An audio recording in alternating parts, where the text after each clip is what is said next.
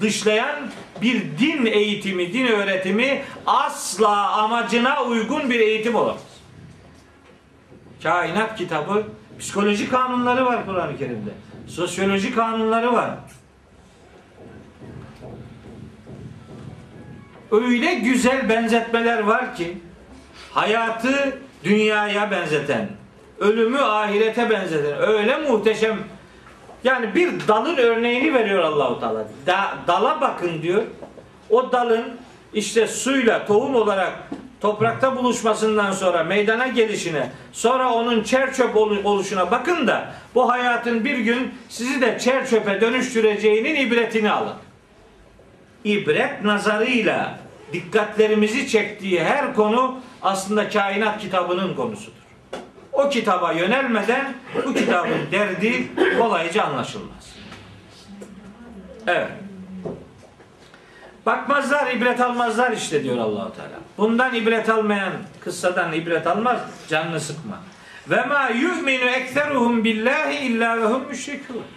Bunların büyük çoğunluğu Allah'a da aslında inanır. Fakat şirk koşar. İmanının içinde şirk vardır. İmanını şirkten uzaklaştırarak bu imanı becermezler. İmanına zulüm katarlar. Ellezine amenu ve lem yelbisu imanehum bi zulmin. İman edip imanlarına zulüm bulaştırmayanlar var ya ulaike lehumul emnu. Asıl güven onlarındır ve hum muhtedune ve hidayete erdirilenler de işte bunlar. En'am suresi 82. ayet. İmana zulüm bulaştırmamak demek, imanı şirkle kirletmemek demek. Zulmün şirk olduğunu da biz gene Kur'an'dan öğreniyoruz. Buyuruyor ki Lokman suresinde Cenab-ı Hak 13. ayette İz kâle Lukmanu libnihi ve huve ya'izuhu Lokman oğluna nasihat ederek demişti ki Ya buneyye yavrucuğum La tüşrik billahi sakın ha Allah'a ortak koşma inne şirke le zulmün azim muhakkak ki şirk en büyük zulüm şirkin zulüm olduğunun delili olan ayet Lokman suresinin 13. ayetidir. Şimdi bu adamların çoğu şirk kirliliğine bulaşmadan Allah'a inanmazlar. Bu ne demek bu? Nasıl bir şirk? Şimdi diyor ki Allahu Teala 105. ayette. Göklerde ve yerde ayetler var. Onlara sorsan ki başka ayetlerden e, örnek vererek söylüyorum. Diyor ki Yüce Allah ve le in seeltehum men halakas semavati vel arda sen onlara sorsan ki gökleri ve yeri kim yarattı? Le yekulunne Allah. Derler ki Allah yarattı. Hemen açtım çıktı bak. Lokman suresinin 25. ayet. Gökleri yeri kim yarattı diye sor onlara Allah diyecekler. Mesela Yunus suresinde daha çarpıcı bir ayet var. 31. ayeti Yunus suresinin. Kul sor bakalım onlara. Men yerzukukum mines semai vel Yani bu Allah'ın kullara soru sorması demek onlardan cevabını öğrenmesi anlamında bir soru sormak değil yani. yani öğretiyor, itiraf ettiriyor buna. Sorusu da öğretim yani. Sor bakalım bunlara. Sizi gökten ve yerden kim rızıklandırıyor? Emmen yemlikü sem'a vel absare. Size duyma ve görme özelliklerini kim veriyor? Ve men yuhricul hayye minel meyyiti ve yuhricul meyyite minel hayyi. Ölüden diriyi, diriden ölüyü kim çıkartıyor? Ve men yudebbirul emre. Bütün bu kainatın işleyişini kim elinde bulunduruyor diye sor onlara. Feseyekulune. Diyecekler ki Allahu Allah yapıyor. Fekul. Şimdi bir daha sor onlara. Efela tettekune. Sizde hiçbir duyarlılık yok.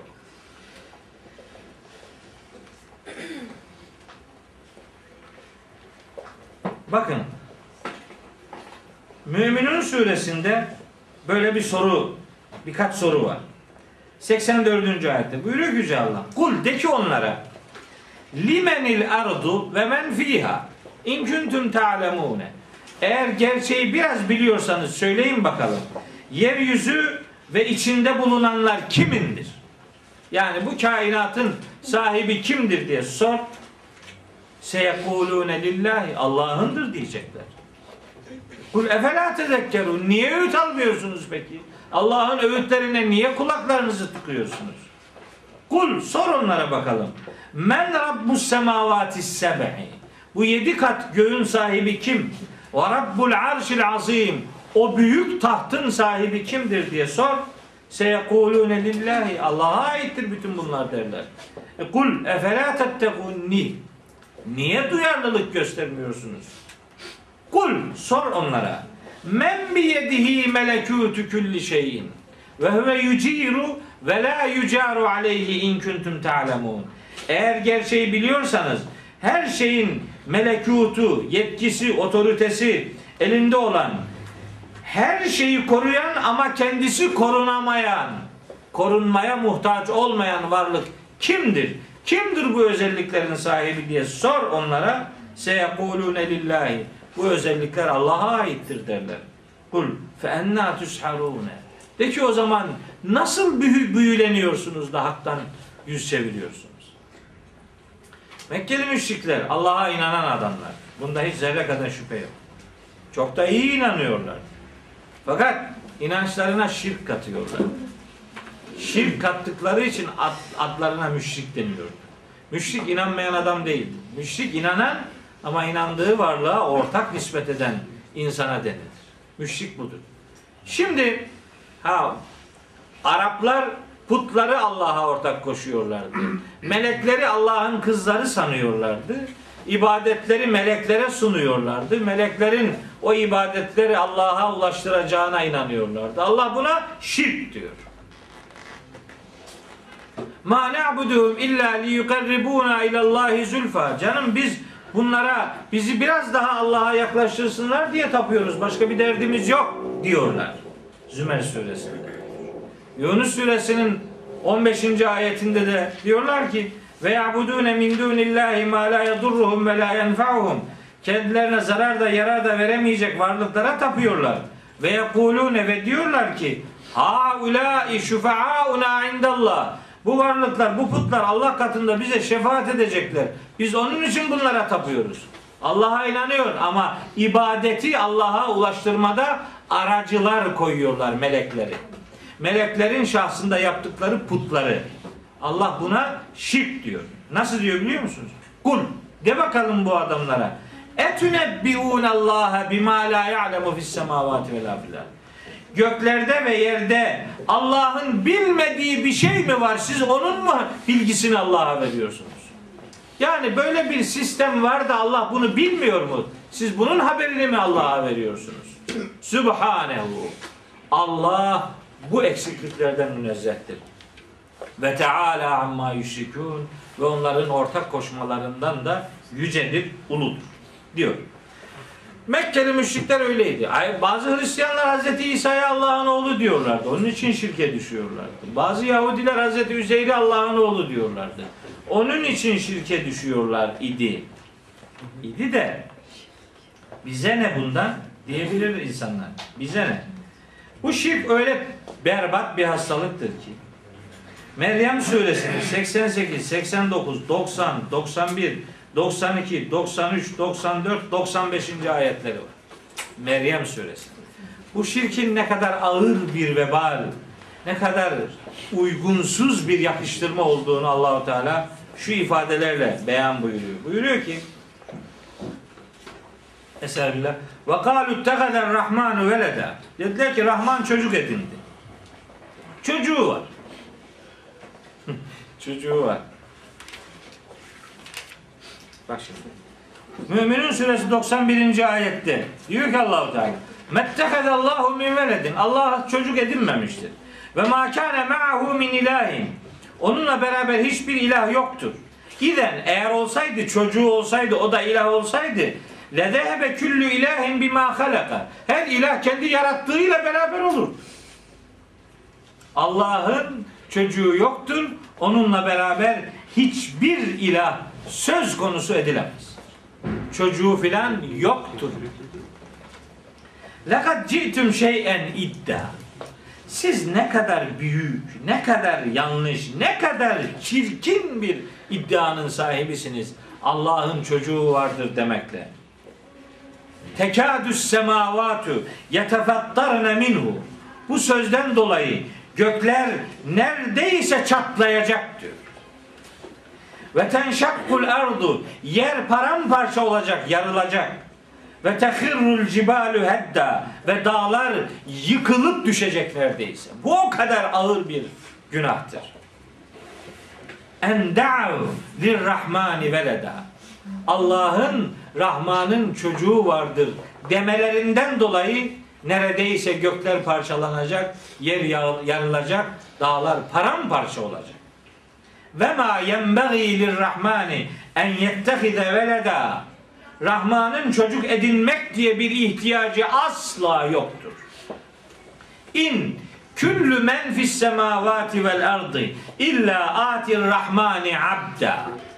Göklerde ve yerde bulunan, ortak iddia edilen, ilahlık isnat edilen kim varsa isnat edilen de isnat eden de hepsi illa atir rahmani abda. Hepsi Allah'ın huzuruna kul olarak gelecekler, gelecektir. Rab olarak değil, ilah olarak değil. Hepsi kul olarak kuzu kuzu önümüze gelecektir diyor allah Teala. Şirk böyle çirkin bir günahtır. E, biz öyle bir şey yapmıyoruz denebilir. Efendimiz buyuruyor ki ben bu ümmetin artık öyle helva melva yapacağını, ağaca puta tapacağını filan düşünmüyorum. Ama bunlar başka şeylere tapacaklar. Nefsine tapacak. Paraya tapacak. Mala tapacak. Şehvete tapacak. Mülke tapacak. Dünyaya tapacak. Bunlar da bir çeşit şirktir. Şimdi ben ümmetim için bunlardan korkuyorum.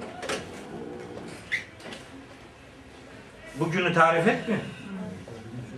Bugün bunun hangi çeşit örnekleri yok ki?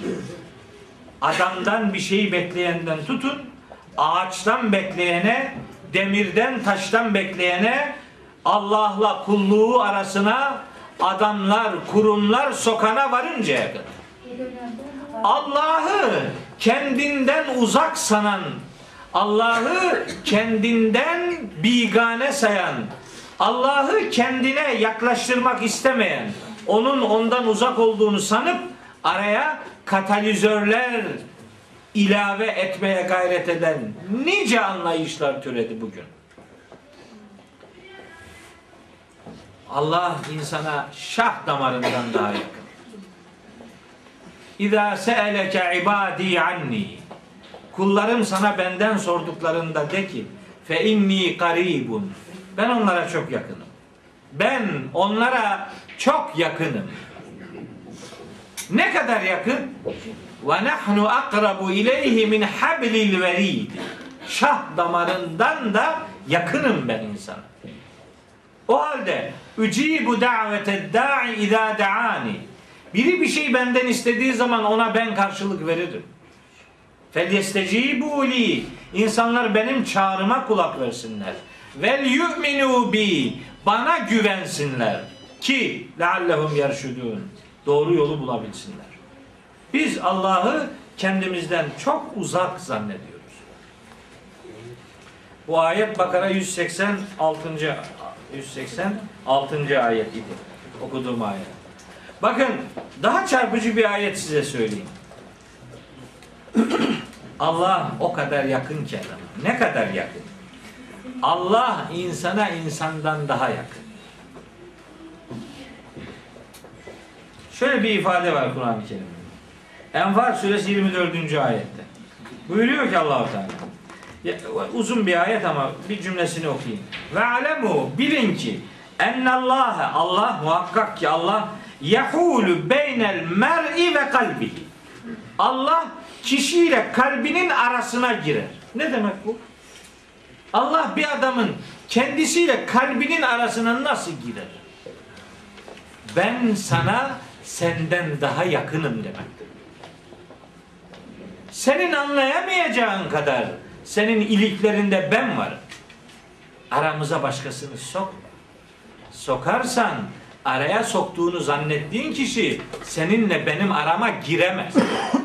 Çünkü sana benden daha yakın hiçbir şey yok ki araya bir şey sokabilesin. Allah'a aracılar isnat etmek, ilahi sistemi kökünden bombalamak demektir. Efendim şöyle şeyler söylüyorlar. İşte yani mesela bir adam diyelim ki bir yetkiliye bir işi düşse e o, o onun yakını olan onun sevdiği birini araya koysa daha iyi değil mi? Ya sen Allah'ı haşa bir daire amirine mi benzetiyorsun?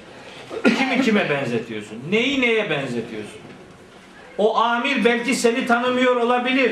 Tanıyan birini araya koyma ihtiyacı hissediyor olabilirsin.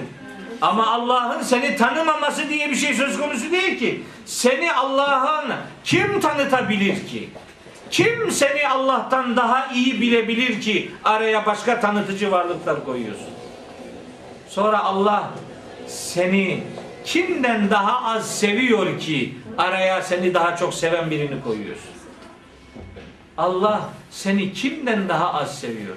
Biz sadist bir Allah inancıyla yetiştirildik. Sadist. Yani böyle kulunu yakalasa da böyle onu lime lime parçalasa. Sokakta işportacı kovalayan zabıta memuru gibi tanıttılar bizi Allahu Teala. Onun için araya bir sürü insanlar koyma ihtiyacı hissediyoruz. Vallahi Allahu Teala bir ananın evladına duyduğu şefkatle asla mukayese edilmeyecek kadar kullarına merhametliyle muamele edecektir. Kim Cenab-ı Hakk'ı bizden uzak gösterebilir? Madem Allah insanı bu kadar yakinen biliyor, araya aracı koymak ayıp değil mi? Bırak günahı. Ayıp değil mi? Şimdi ben mesela diyelim e, Fatih ile samimi dostum. Fatih'in bana bir işi düştü varsayalım. O da gidip diyor ki yani Recep abiyi araya koyalım. O desin ben demem mi ki lan Fatih yazıklar olsun sana. Seninle benim aramda ne vardı ki onu onu tolere etmek için başka birini araya koydun. Yapılacak iş yapılmaz olur böyle yaparsan. Olacak bir işi ben olsam yapmam. Ne vardı da araya adam koydun? Ya Allahu Teala yani şefkatiyle kainatı kuşatmış bir varlığa ulaşmak için aracılar edinmenin adına şirk. Onun için bugün bu ayet her Müslümanı her zamankinden daha çok ilgilendirmektedir. Şimdi kimse melekler Allah'ın kızıdır demiyor. Şimdi kimse Muhammed Aleyhisselam Allah'ın oğludur demiyor. Ama başka şeyler söylüyor. Daha tehlikeli, daha çaktırmadan e, sistemi zedeleyen bir takım bozukluklar içerisine giriyoruz. Allah'tan istemek varken başkasını araya koymak Allah'ı tanımamak demektir. Onun merhametine güvenmemek demektir. Hiçbir varlık Allah'tan daha merhametli olamaz. Bunu herkes hepimiz beynimize yazmak ve hayatımızda uygulamak durumundayız. Hocam insanların çoğu Allah'a şirk koşmadan inanmazlar diye bir ayet-i kerime var? Bu işte. Bu. Bu. Ve ma yu'minu ekseruhum billahi illa hum müşrikün. Yusuf suresinin 106. ayet. İşte bu. Evet. Saat abi devam eder. Bitecek. Bir dahaki hafta yokuz çünkü. Yusuf suresi bitsin. Yusuf suresi bitsin. Devam ediyor şimdi. Bak şimdi bir ayet daha. Şimdi bu ayet, şimdi okuyacağımız ayeti okuyunca biraz sonra bir soru soracağım size. Bakalım nasıl cevap vereceksiniz. Bu ayeti önce bir okuyayım. Sonra bir soru soracağım. Yusuf suresi 107. Estağfirullah. Efe eminu. Bu adamlar kendilerini güvende mi sanıyorlar? Güvende mi bunlar? E, neden? Neden güvende mi? En te'tiyehum gâşiyetun min azâbillâhi. Allah'ın azabı türünden onları çepeçevre kuşatacak bir felaketin kendilerine gelmesinden emin miler bunlar? hepsini kuşatıp hiç dışarıda kimseyi bırakmayacak bir felaketin onları onları kaplamasından güvendeler mi bunlar? Ev ya da te'tiyehumus sa'atu bagteten ve hum la yeş'urun.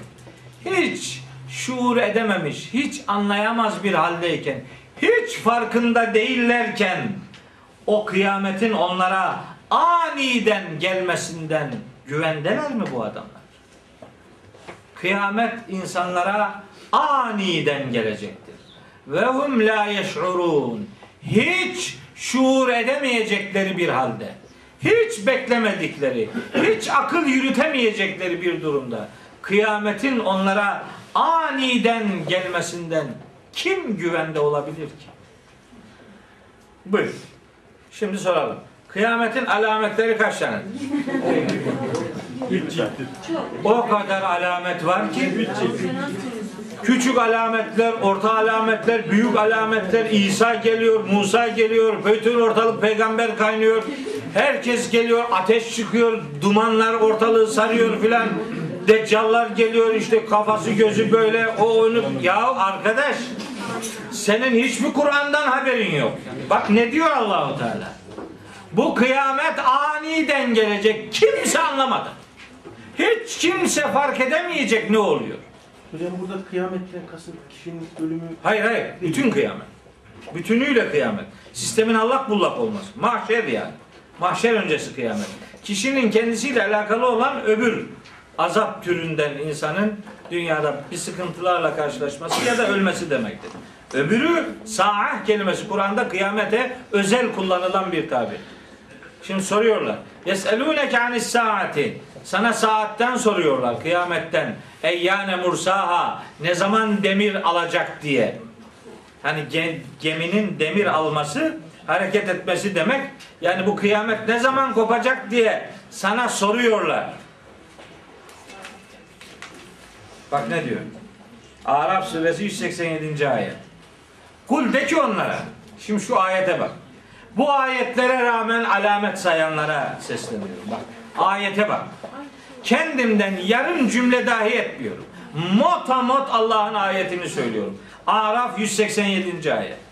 Sana kıyametin ne zaman demir alacağından soruyorlar. Kul de ki onlara İnnemâ ilmuha inde rabbi onun bilgisi sadece ve sadece Rabbimin katındadır.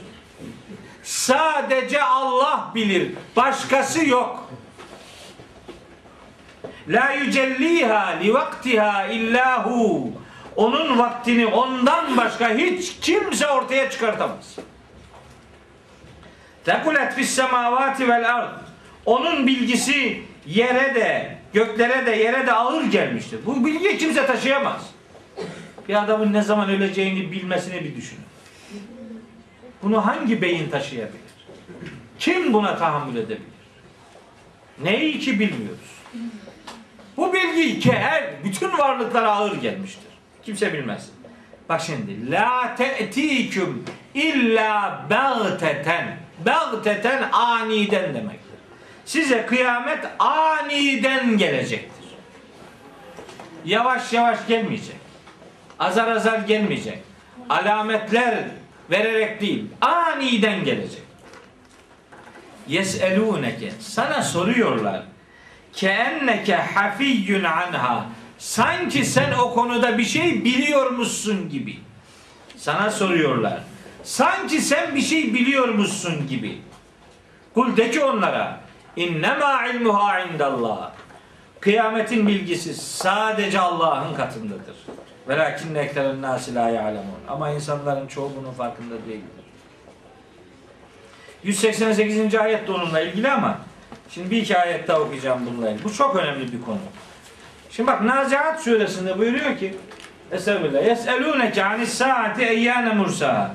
42, 43, 44. ayetler. Sana kıyametin ne zaman demir alacağını soruyorlar. Fime ente bak fime ente min zikraha. Fime ente min zikraha. Yani onu bilmek nerede sen nerede? Onu bilmek ile sen asla yan yana bile değilsin. Sen nereden bileceksin ki onu? ila rabbike muntehaha. Onun nihai bilgisi sadece Allah'a ait. Başkasına değil. Şimdi bakın. Bir ayet daha söylüyorum. Ahzab suresinde Yes'elüken nasu anis sa'a 63. ayet. Sana kıyametten soruyor insanlar. Kul innema ilmuha indallah. De ki onun bilgisi Allah katındadır. İnnema varsa bir cümlenin başında sadece ve sadece şundadır. Başkasında yok demektir. Sadece o bilgi Allah katındadır. Ve ma yudrike hem sen nereden bileceksin? Lealle saate tekunu gariba. Belki de kıyamet çok yakındır. Buyur. Sen nereden bileceksin? Belki de kıyamet çok yakındır. Bilmezsin. Bir ayet daha söylüyorum şimdi. Bakın. Enbiya suresinin 109. ayeti. Ve in edri ekaribun en ba'idun ma tu'adune. Size vaat edilen şey yakın mıdır, uzak mıdır bilmem ben diyor. Ben nereden bileyim? Bilmiyorum diyor. Biz peygamberimizin bir şey bilmemesine razı değiliz. Her şeyi bilecek. Bakın Cin suresinin 25. ayeti. Kul in edri ekaribun ma tu'adune. Size vaat edilenin yakın olup olmadığını ben bilmiyorum. Em yec'alu lehu rabbi emeda. Rabbimin onun için uzun bir süre koymuş olabileceğini de bilmiyorum. Bilmiyorum ben diyor. Ya bilmiyorum dedirtiyor ona Allahu Teala 10 kere. Biz diyoruz "Cık, olmaz. Bilecek. Şimdi bir ayet daha size söyleyeyim. Bakalım buna rağmen ne oluyor? Adam ayete inanmıyor kardeşim. Taha suresinin 15. ayeti. Bak. Taha suresinin 15. ayeti. İnne saate atiyetun. Kıyamet mutlaka gelecektir. Ekadu uhfiha. Ekadu uhfiha. Neredeyse onu ben kendimden dahi gizleyeceğim diyor. Allah diyor bunu Allah. Adam ne diyor? Alameti var. Var. Şu ayeti ne yapacağız şimdi? Aha bir ayet daha okuyorum. Muhammed suresinin 18. ayeti. Fehel yanzurune illa saate en te'tiyehum bagtete. Kıyametin kendilerine aniden gelmesinden öte ne bekliyor bu adamlar? Aniden gelecek. Fakat ca'e eşratuha. Onun bütün alametleri gelmiştir. Ne yapacağız biz şimdi? Bu kadar ayeti nere koyacağız? Alametleri doğrulayalım derken. Bu ayetler ne olacak? Biri bana bu ayetlerin neye yaradığını anlatsın. Kur'an'dan bakmadın mı onlarca kanaat sahibi olursun. Yapacak bir şey yok. Kur'an'dan bakınca inanın geride inanın şöyle dişe dokunur bir soru kalmıyor. Kur'an'dan bakarsın. Güzel bir kitap var. Bir sürü kitap yazıyoruz. Var tabii. Yüzlerce kitap var. Dolu. Var. İyi oluyor. Şey, 2000 yılında Kudüs'te şeyler vardı. Rahipler. 2000 yılı Hz. İsa'nın doğumunun 2000. yılıydı. Dolayısıyla kıyamet kopacak diye çıktılar bir tepeye intihar etti. Kıyamet kopuyor diye. Kopacak. 2000 yılında kopması lazım. Kopmadı. Bizim ofta bir hoca efendi var. Çok saygı duyulan bir hoca efendi. Bundan birkaç sene önce dedi ki benim adımı da çok sık ve olumsuz cümlelerle tekrarlayan bir hoca efendi. Ama ben her gördüğümde gider elini öperim. Yaşlı bir hoca, hoca efendi. Dedi ki ben dedi hesap ettim Ebced hesabına göre kıyamet 40 sene sonra kopacak. Dedim ben zeki adamı severim hocam ama benden zeki olmayacak. benden daha zeki ise sıkıntım var.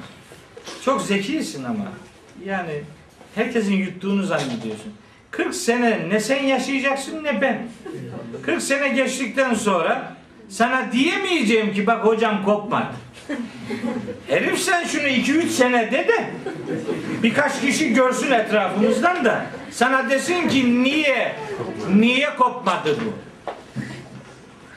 Ben de yazayım. Diyeyim ki 100 sene sonra kopacak. Tamam bir şey yok.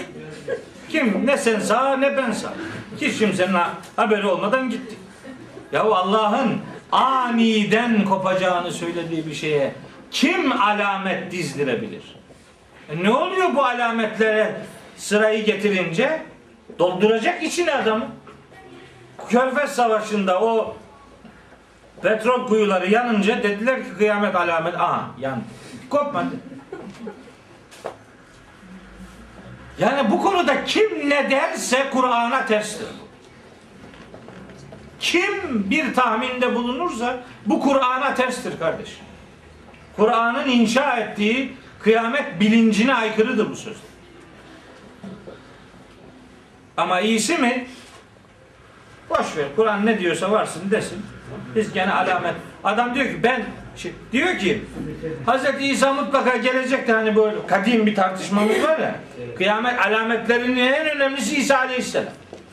40 sene önce gelecek. Gelecek. Çünkü onun gelmesi niye gelmesini istiyorlar biliyor musun? Her kim diyorsa ki o gelecek onun bir de Mehdi adayı var. O gelecek ki Mehdiliği otursun adam. Kendisini Mehdi ilan ediyor böylece. İsa gelirse o da Mehdi oluyor. Ne kadar güzel. Biz de diyoruz ki bu olmaz böyle bir şey. Olma olur mu? Olmaz deyince de sapık diyor bu. Niye sapık? İsa gelecek. E gelen İsa olduğunu nereden anlayacağız? Anla- Anlaşılacak. Hristiyanlar demeyecek mi ona "Lan niye geldin sen? Yani madem gelecektin niye gittin? Bizi bu kadar sıkıntıya düşürdün. Madem başka bir dine çağıracaktın bunu vaktinde bize niye verdin? Yok efendim peygamber olarak gelmeyecek, ümmet olarak gelecek. E ne oldu ya? Allahu Teala onun apoletlerini sökecek. Sen görevden alındın, şimdi ümmet ol bak. La havle ve la kuvvete illa billahil aliyyil azim. Yani şimdi ben Kur'an'a rağmen nasıl böyle şeylere inanırım kardeş? Hayır rivayetler var. Yorumlayalım rivayetleri ya. Ayetlerle uğraşmayalım. Rivayetleri yorumlayalım. Diyelim ki İsa Aleyhisselam'ın gelmesiyle ilgili rivayetler onun temsil ettiği arı duru dini akideler yeryüzüne hakim olacak. Yorumla. Başka bir şey de kardeş. Bu ayetleri bu ayetler başka türlü anlaşılmıyor. Ben Kitabullah'a böyle bakıyorum. Ben bu kitabın bir konuda ne söylediğini bilmeden o konuda kanaat sahibi olmayı doğru bulmuyorum. Önce bunun kanaatini bu kitap şekillendirecek. Adam gibi bunu önce öğreneceksin. Ondan sonra şu konudaki kanaatim budur diyeceksin. Bu kitaba bakmadan kanaat sahibi olunca sonra kanaatlerini bu kitaba gidip doğrulatıyorsun. Bu kitap kanaatlerini doğrulamayınca da bu kitabı yorumluyorsun ondan sonra. Kitaba uymuyorsun, kitabına uyduruyorsun. Mantık katarak. Buna kimsenin hakkı yok. Çok ciddi bir hatadır. Bizim yaptığımız acizane benim yaptığım bu. Allah'ın kitabından bakmaya bak- ve çalışma. Ne kadar ne bileyim. Ne kadar becerebiliyorsam o kadar. Her Müslümanın da böyle bakması gerektiğine inanıyorum. Bu, buyurun şimdi. 108. ayet. Bakın bu dediğimi nasıl nasıl sistemleştiriyor. Kul de ki de ki insanlara Hadihi sebili. İşte benim yolum bu. Ed'u ilallahi ala basiretin. Ben Allah'a insanların bir basiret üzere inanmalarını sağlamak üzere davet ediyorum. Körü körüne inanarak değil, basiretle inanmalarını istiyorum. Kainat kitabına baksın Allah'ı bulsun. Kıssaları dinlesin Allah'ı bulsun. Basiretle iman sahibi olsun. Taklitle değil inancını bilgiye dönüştürsün. Bilerek inansın. Basiretini zihniyle yoğursun ve beyninde o bilgiler onun olsun diye bir doğum yaşasın. Beyni bir faaliyet göstersin. Basiretle beyin buluşturulsun. İman basiretle buluşturulunca o kemikleşir. Hiçbir güç onu oradan sarsamaz. ala basiretin ene ve men ittebe'ani. Ben ve bana tabi olanlar bir basiret üzere Allah'a çağıracağız. Nere çağıracakmışız? Allah'a çağıracağız. Kim? Bak önce peygamberimiz.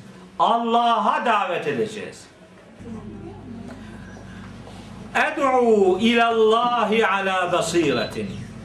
Allah'a bir basiretle davet edeceğim diyor peygamber. Aleyhissalatü vesselam. Bakın. İbrahim suresinde buyuruyor ki Kitabun enzelnahu ileyke lituhricen nase minez zulumati ilen nuri biizni rabbihim ila sıratil azizil hamid. İnsanları karanlıklardan ayrıldığına çıkarasın diye Rablerinin izniyle Allah'ın o yüce varlığın yoluna insanları ulaştırmak üzere peygamber peygamber olarak görevlendirilmiştir. Bir, İbrahim suresi 1. ayet. Ahzab suresi 46. ayet. Ve da'iyen ilallahi biiznihi. Allah'a Allah'ın izniyle çağıracak. Allah'a çağıracak. Allah'a çağıracak. Allah'ın izniyle Allah'a çağıracak. Peygamber Allah'a çağıracak. Bizse nereye çağırıyoruz? Biz ya partiye çağırıyoruz, ya mezhebe çağırıyoruz, ya tarikatımıza çağırıyoruz, ya cemaatimize çağırıyoruz, ya grubumuza çağırıyoruz, ya bilmem ne. Allah'a davet edilecek ve Allah'ın izniyle onun kitabı anlatılarak bu yapılacak. Peygamberimiz ben ve beni gerçekten takip edenler böyle bir basiretin, böyle bir yolun yolcusu olmak zorundadırlar demek istiyor. Kulaktan dolma şeylerle, kültürel motiflerle değil, dinin asıl kaynağı olan Allah'ın kitabıyla doğrular buluşturulacak ki sonuç alınabilsin. Ve subhanallahi. Allah'ın şanı ne yücedir. O her türlü eksiklikten münezzehtir. De ve ma ene minel müşrikin ve yine de ki ben müşriklerden değilim. Allah'a hiçbir şeyi ortak koşmuyorum. O davet yani müşriklerin o gün o toplumdaki peygamberimizin etrafındaki insanların hakka davet edilişi bir basiretle, bir değerle, bir bilgiyle, bir özlem duyulabilecek bir hakikatin etrafında toplanarak ancak sağlanabilecektir. Hedef o birlikteliği, o şuuru ortaya koyabilmektir. Dışlamak değil, davet etme içeriğine sahip olan bir tebliğ faaliyeti yürütülecektir. Şimdi bu kıssalardan insanlar istifade etmiyorlar diye canını sıkma diyor. Ve ma erselna min qablike illa ricalen nuhi ileyhim min ehlil kura. Şehir halklarından senden önce nice vahyettiğimiz peygamberler gönderdik diyor. Yani sen bunların sonuncususun. Senden önce nice peygamberler böyle şehirlere göndermiştik. Efelem yesiru fil ardı feyanzuru keyfe kana akibetullezine min qablihim. Daha önce kendilerinden önce geçenlerin akıbetlerinin nasıl olduğunu bir gözlemlemek üzere onların yerlerini, yurtlarını bir gelsin görsünler. Bu daha çok helak olanların helak edildikleri mekanları ibret nazarıyla görmeyi hatırlatan bir ifadedir. Bunlar da inanmazlarsa bunların akıbeti de öyle olacaktır demek istiyorum. Dünyaya çakılıp kalmadı hiç kimse. Dünyaya tapmanın bir anlamı yok. Hayatı dünyadan ibaret saymanın bir anlamı yok. Ve le darul ahireti hayrun lillezine ettekav. Duyarlı insanlar için ahiret yurdu elbette çok daha hayırlıdır.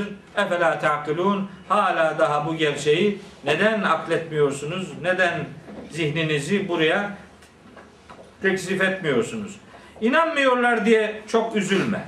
Çok üzülme çünkü hatta ile eser rusulü hatta ile eser rusulü öyle oldu ki peygamberler bile ümitsizliğe kapıldığı zamanlar yaşamışlardır. Ümitsizliğe kapılmış. İreste eser rusul. Peygamberler ümitsizliğe kapılmışlar. Ve zannu ve görmüşler ennehum kad küzibu. Etrafındakiler tarafından yalanlandıklarını görünce sıkıntıya düşmüşler, daralmışlar, bunalmışlar. Ne oluyoruz acaba diye bir ümitsizlik psikolojisine bürününce etraftaki herkesin onları yalanlan, yalanladığını görüp müşahede edince tam da hakkın yetişmesini hak ettiklerinde caehum nasruna bizim yardımımız o peygamberlere gelmiş fenücciye men neşâ'u ve dilediklerimiz sıkıntıdan kurtarılmışlardır. Şimdi sen de yalanlanıyorsun diye fazla üzülme. Hac suresinde anlatıyor öyle uzun uza diye böyle bir olay. Oraya gitmiyorum ben. Yalanlanıyorsun diye fazla canını sıkma. Önceki peygamberler de benzer şekillerde yalanlanmışlardı. Bir tane örnek ayet okumak istiyorum. En'am suresinin 33-34. ayetleri çok önemli. Bakın peygamberi motive etme anlamında ayetler bunlar. Onun için ikide bir risaletle buluşturarak ifadeye gayret ediyorum. Buyuruyor ki kad na'lemu biz biliyoruz. Allahu Teala buyuruyor. Kad na'lemu biz biliyoruz. İnnehu le yahzunukellezî yekulûne. O adamların söyledikleri ya da söyleyecekleri sözlerin seni hüzünlendireceğini biz biliyoruz. Seni üzdüklerini, üzeceklerini biz çok iyi biliyoruz. Fakat fe innehum onlar la yükezzibûneke aslında seni yalanlamıyorlar. Velakinne zalimine o zalimler bi ayatillahi yechadune. Allah'ın ayetlerini inkar ediyorlar. Sana dedikleri bir şey yok. Aslında onlar seni değil, bizi yalanlıyorlar. Canını sıkma. Ve lekad küzzibet rusulun min kablike. Senden önce nice peygamberler gelip geçmiş ve yalanlanmışlardı. Fakat fasaberu ala ma küzzibu. Yalanlandıkları kadar sabretmişlerdi. Ne kadar yalanlamış, yalanlanmışlarsa onun karşısında en az o kadar sabırla mukavemet göstermişlerdi. Ve udu çeşitli sıkıntılara, eziyetlere maruz bırakılmışlardı. Hatta işte sonunda etahum nasruna. Bizim yardımımız onlara gelmiş, onları bulmuştur. Ve la mubeddile li kelimatillah. Allah'ın bu anlamdaki kelimelerini, kanunlarını, esaslarını, prensiplerini hiç kimse değiştiremez. Seni de yalanlıyorlarsa canını sıkma. Yalanlanan sen değilsin. Allah'ın ayetlerini yalanlıyorlar. Daha önce de böyle oldu ama inananlar bu sıkıntıdan kurtarıldılar. Ve la yuraddu be'suna anil kavmil mücrimin. Bir toplum eğer azabı hak ediyorsa bu suçlu insanlardan bizim azabımızı kimse geri çeviremez. Bitti mi? Değiştirme. Ha, biraz bir ayet. Niye anlatıldığını söylüyor bakın. Yusuf suresi bitiyor. Bak aradan nice konular birer ayetlik de olsa işin içerisine konuldu ve en sonunda bütün kıssaların niye Kur'an'ın beşte üçünü oluşturduğunun cevabını veriyor. Buyuruyor ki Yüce Allah. لَقَدْ كَانَ ف۪ي قَصَصِهِمْ عِبْرَةٌ لِعُلِي الْاَلْبَابِ bu kıssalarda, bu geçmiş ümmetlerin kıssalarında sağduyu sahibi olan, yani akleden bir mantığa sahip olan, çalıştırılabilir bir akıl sahibi olan herkes için mutlaka ibret vardır. Her kıssada ibret vardır. Allah kıssaları laf olsun diye anlatmaz. İçinde hisse olmayan bir metin Kur'an'da yoktur anlatılan olgulara kıssa denmesinin gerekçesi de budur. Bir olaya eğer kıssa deniyorsa içinde hisse, hisseyab olunabilecek bir mesaj vardır onun için. Onun için diyor ki bütün onların kıssalarında sağduyu sahibi olanlar için mutlaka bir ibret vardır. Ma kana hadisen yuftera. Kur'an, bütünüyle Kur'an ya da parça parça bu kıssaların hiçbiri uydurulabilir bir söz değildir. Ma kâne hadisen yuftera. Kur'an uydurulabilir bir hadis değildir. Kimse Kur'an'ı uydurulmuş olmakla tanıtamaz. Ne kıssalar uydurulmuştur ne de bütünüyle Kur'an. Ve lakin Kur'an ancak ve ancak şudur. Tasdikallezî beyne yedeyhi. Kendinden önceki mesajı onaylamak ve tefsile külli şeyin ele aldığı her şeyi detaylı bir şekilde ortaya koymak ve hüden rehberlik yapmak ve rahmeten ve merhamet vesileleri oluşturmak. Li kavmin yu'minun inanan ve inanmak isteyen insanlar için Kur'an bir rehberdir, bir rahmet aracıdır ve ele aldığı her konuyu tafsilatı bir şekilde ortaya koyan ve kendinden önceki mesajları da onaylayan bir mesajdır. Herhangi bir varlığın, herhangi bir insanın şu veya bu şekilde uydurması, iftirası değildir. Kur'an'ın anlattığı her şey bir geçmiş kitabın tasdikidir. Bir olayın detaylandırılarak ortaya konulmasıdır. Bir yol göstermedir ve bir rahmet vesilesidir. Allah'ın kitabı ancak bu nitelendirmelerle insanların zihninde kalıcı bir yer edinecektir. Bu kıssa Yusuf suresinin asıl kıssası olan Yusuf kıssası da diğer bütün kıssalarda ilahi sistemin öğüt almaya endekslendiğini gösteren muhteşem pratiklerdir. Allah kitabının ibret diye ortaya koyduğu esasları görebilmeyi, o esaslarla kainata bakabilmeyi, hayatı buna göre programlayabilmeyi hepimize nasip ve müyesser eylesin.